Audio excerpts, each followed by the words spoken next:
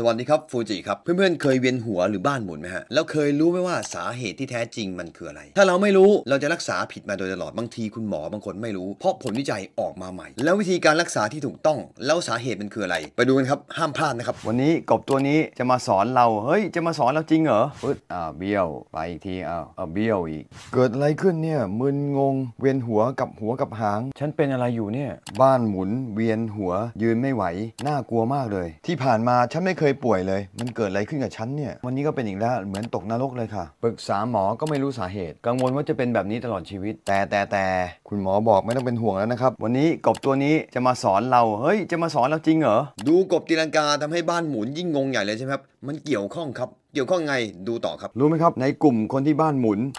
53.8%รักษาง่ายๆ อยู่ที่บ้านโดยไม่ต้องไปโรงพยาบาล คุณอาเบะเป็นอีกคนหนึ่งที่มีปัญหาบ้านหมุน กังวลมากก็เลยไปตรวจ MRI ดูสแกนสมอง คุณหมอบอกคุณไม่มีปัญหาเรื่องสมองอะไรเลย หลังจากนั้นผ่านไปอีก 1 เดือน มีอยู่วันหนึ่งลงจากรถรู้สึกมึนหัวอีกแล้ว ก็เลยจดบันทึกว่าตัวเองบ้านหมุนเมื่อไหร่ จังหวะไหน ปรากฏว่าบ้านหมุนเพิ่มขึ้นมึนหัวมากขึ้น และเร็วขึ้นถี่ขึ้น โดยจะมีจุดเด่นเกิดบ่อยในตอนเช้า ย้ายโรงพยาบาลกี่ที่ก็ไม่รู้สาเหตุ จนเธอมารู้วิธีการรักษาแบบใหม่ สดชื่นแข็งแรงไม่ต้องกลัวบ้านหมุนอีกต่อไป และรักษาได้ภายในวันเดียว คุณซูมิโกะอายุ 37 ก็เคยเป็นโรคบ้านหมุนและก็รักษาหาย เธอก็มีปัญหาบ้านหมุน ในตอนเช้าตอนลุกขึ้นจากเตียง ปัจจุบันสดชื่นแข็งแรงไม่มีปัญหาอีกแล้ว คนที่บ้านหมุนนะครับสังเกตดูครับตาของเขาจะมีอาการแบบนี้ครับ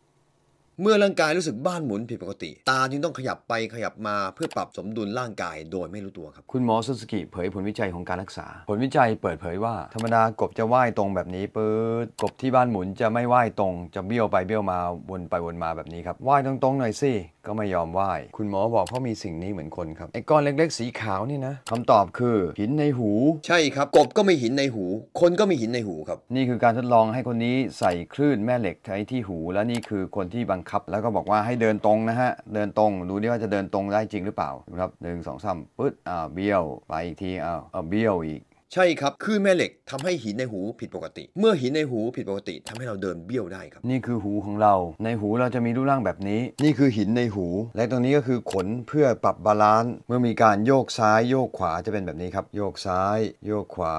ขึ้นบน มันจะส่งคลื่นความสมดุลให้กับสมอง เพื่อแจ้งให้คนได้รู้ว่ากำลังเอียงซ้ายเอียงขวาอยู่นะ อธิบายอีกทีให้เพื่อนๆเข้าใจนะครับ ในหูเราจะมีรูปร่างแบบนี้คล้ายๆหอยทาก ตรงนี้จะมีรูปร่างเหมือนโดนัท3ชิ้นมาต่อกัน ภาษาญี่ปุ่นเรียกว่า三半規管 หินในหูจะอยู่ช่วงตรงนี้ครับ เปิดมาดูจะถูกเรียงเป็นรูปร่างแบบนี้ ข้างละ 2 ชิ้น เหมือนเป็นเซ็นเซอร์ให้เรารู้ว่าเอียงซ้ายเอียงขวา บนขนนี้ก็จะมีแผ่นที่ทำจากแคลเซียม หรือเรียกว่าแผ่นแคลเซียม แผ่นแคลเซียมนี้เราจะเรียกว่าหินในหูหรือบางคนบอกว่าน้ำในหูเอียงน้ำในหูไม่ตรงไม่ balance จริงๆ แล้วมันคือแผ่นแคลเซียมครับ และโดนัท 3 ชิ้นนี้ก็เอาไว้วัดความเอียงของร่างกายเช่นกัน นี่คือการเรียงวางหินที่ถูกต้องตามปกติ และในบางครั้งไอ้แผ่นแคลเซียมเนี้ยจะลอกออกมาแบบนี้ เนื่องจากเป็นคนชราหรือขาดแคลเซียม และแผ่นแคลเซียมนี้บางทีมันจะไหลเข้าไปในซังคังคิกังไอ้ตรงโดนัท 3 ก้อนเนี่ยนะครับลองถอดแผ่นโดนัทออกมาดูครับแผ่นแคลเซียมเข้ามาอยู่ในวงแหวน ก้อนแคลเซียมที่หลุดออกไปเข้าไปอยู่ในวงแหวน แล้วมันมาโดนขน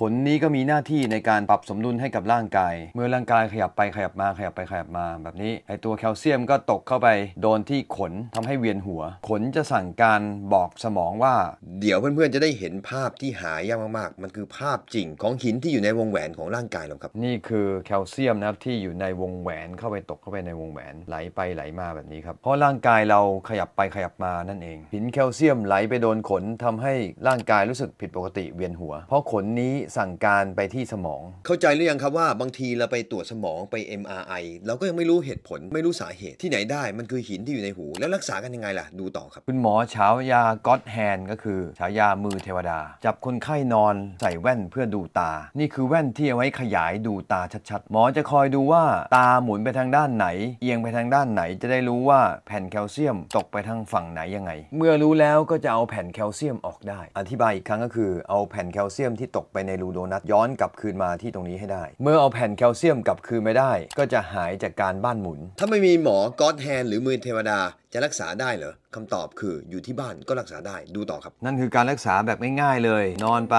ก่อนอื่นให้หันซ้ายแล้วนับ 1 2 3 4 5 6 7 8 9 10 ก็หน้าตรง หน้าตรงแล้วนับใหม่ 10 วิ จากนั้นหันขวานับอีก 10 วิ 1 2 3 4 จนครบ 10 วิ 1 2 3 4 มันจะค่อยๆไหลใช่ไหมครับ ลองสังเกตดูครับเวลานับไปเรื่อยๆเนี่ยมันจะค่อยๆละลายค่อยๆละลายหายไปแบบนี้ครับค่อยๆค่อยๆค่อยๆค่อยๆจากการเป็นแผ่นแคลเซียมมันค่อยๆละลาย กลายเป็นผงเล็กๆครับเพราะแผ่นแคลเซียมเดิมที มันก็คือผงที่เคยต่อกัน เมื่อมันกลายเป็นผงแล้วก็จะไม่กระตุ้นเส้นขนที่อยู่ในหู และการรักษาวิธีหนึ่งก็คือการยกหมอนให้สูงขึ้น เป็นเวลาหนึ่งอาทิตย์จะหายจากการเวียนหัว เห็นไหมครับ นี่คือกระบวนการยกหมอนให้สูง เมื่อยกหมอนให้สูงก็เท่ากับว่าหินแคลเซียมที่อยู่ตรงสังกังขี้ข้างจะไหลคืนมาที่ตรงนี้ครับทำให้ไม่เกิดการเวียนหัว สาวๆที่รักสวยรักงามนะครับ ส่วนใหญ่ก็จะพยายามใช้หมอนนิเตียหรือไม่ใช้หมอนเลย เพื่อที่จะรักษาไม่ให้คอมีรอยย่นครับสาวๆญี่ปุ่นจะเป็นอย่างนี้ สมมุติว่าเวียนหัวหรือบ้านหมุนเกิดขึ้น แสดงว่านะครับแคลเซียมที่ในหูหรือหินที่อยู่ในหูเนี่ยมันจะตกเข้าไปในวงแหวนได้เพราะฉะนั้นลองใช้หมอนที่สูง อย่าลืมแชร์ให้คนรักของเรานะครับ คนที่เป็นอาการนี้มีอยู่ 53.8%วิธีสังเกตง่าย ๆ คือจะมีอาการบ้านหมุนแค่ 1 นาทีเท่านั้น ส่วนคนที่เป็นบ้านหมุนเกิน 1 นาที ขอให้คุณสงสัยว่าอาจจะเป็นโรคต่างๆ ทางเกี่ยวกับเรื่องสมอง หรือการอุดตันเส้นเลือดของสมองให้ไปหาหมอนะครับโรคนี้ผู้หญิงจะเป็นเยอะกว่าผู้ชายถึง 3 เท่า เพราะผู้หญิงเวลาหลังวัยกลางคนแล้วจะมีโอกาสเป็นโรคกระดูกกร่อนกระดูกเสื่อมได้ เนื่องจากฮอร์โมนเอสโตรเจนที่อยู่ในผู้หญิงจะน้อยลง หินในหูก็คือแคลเซียม แคลเซียมก็คือกระดูก เมื่อหินในหูตกนั่นหมายถึงคุณเป็นโรคกระดูกพรุน เป็นสัญญาณของการเตือนว่าคุณเป็นโรคกระดูกพรุนแล้วครับ และในยุคนี้คนขาดแคลเซียมเยอะมาก เริ่มตั้งแต่เป็นวัยรุ่นเลยครับ ผลวิจัยของ NHK บอกว่า เมื่อคุณขาดแคลเซียม แคลเซียมก็คือกระดูก ไม่ใช่ว่ากระดูกจะก่อนอย่างเดียว จะเกี่ยวข้องกับการเป็นโรคความจำเสื่อมอัลไซเมอร์ด้วย จะเกี่ยวข้องกับ เส้นเลือดที่ตีบตันด้วย และเกี่ยวข้องกับภูมิต้านทานของโรคต่างๆ ด้วย ถ้าคุณขาดภูมิต้านทาน คุณจะมีโรคร้ายต่างๆ แทรกซ้อนเข้ามาเป็นอันตรายครับ รวมถึงคอลลาเจนอยู่ที่หน้าทำให้หน้าเด้งดึงเด้งดึงเด้งดึงนี่คือแคลลาเจนด้วย เส้นผมแล้วก็เล็บของคุณด้วยครับ ดังนั้นเราควรจะกินอาหารที่มีแคลเซียมเยอะๆครับ แต่มีเรื่องที่น่าเป็นห่วงครับ แคลเซียมมันดูดซึมได้ยากครับ เราพยายามกินนม พยายามกินอาหารที่จะมีแคลเซียมเยอะๆแต่ร่างกายเราจะดูดแคลเซียมได้ยากครับ รู้ไหมครับเพราะอะไรครับ การกินแคลเซียมที่ดีนะฮะจะต้องมี แคลเซียม บวกกับแมกนีเซียม และมีการ balance ระหว่างวิตามินดีกับวิตามินเคและคาร์โบไฮเดรตแถมกับพวกเรากินอาหารแปรรูป ใครกินบะหมี่กึ่งสำเร็จรูป จะมีฟอสเฟตซึ่งเป็นตัวที่ทำให้แคลเซียมไม่ดูดซึมเข้าไปในร่างกายทำให้เราเป็นโรคกระดูกพรุน และทำให้เราภูมิต้านทานน้อยลง ถามว่าเราควรจะกินอะไรครับ กินอาหารที่มีแคลเซียมเยอะแต่ไม่พอครับ เราจึงต้องกินอาหารเสริมในยุคนี้ครับ และถามว่าผมกินอะไรครับ นี่ครับอาหารเสริมที่ผมกินอยู่ครับ แล้วก็ให้พ่อแม่ผมกินนะ เพราะคนที่อยู่ในวัยใกล้ 40-50 จะเป็นโรคกระดูกพรุนแล้วนะฮะ โดยเฉพาะผู้หญิงครับจะมีฮอร์โมนที่ชื่อว่าเอสโตรเจนลดลงนะเมื่อลดลงเมื่อไหร่จะเป็นโรคกระดูกพรุนนี่ครับก็คือ ในนี้ก็จะมีสารอาหารที่ไม่มีในประเทศไทยครับชื่อว่าซิลิก้าที่ทำจากรำข้าว แล้วก็แน่นอนครับก็คือแคลเซียมพิเศษ แล้วก็บวก balance ระหว่างแมกนีเซียมบวกวิตามินเควิตามินดีวิตามิน B แล้วก็ตัวคาร์โบไฮเดรตต้อง balance กันครับผมกินให้ดูครับเปิดออกมาเป็นแบบนี้ครับเป็นแบบนี้ครับมีอยู่ 90 เม็ดกินสำหรับหนึ่งเดือนครับรูปร่างเป็นนี้ครับถ้าเพื่อนๆสนใจให้ทักมาที่ตรงนี้นะครับ ถ้าไม่ทักมาที่นี้ขออนุญาตไม่ตอบนะครับ ให้ทักมาที่ตรงนี้เท่านั้นนะครับ หรือไม่ก็สแกนเข้ามานะครับ แล้วอย่าลืมเขียนมาครับว่าสนใจอาหารเสริมเสริมสร้างกระดูกครับ ถ้าไม่เขียนมาเราจะไม่เข้าใจนะครับ หรือไม่ก็ครอบจอตรงนี้มาก็ได้ครับ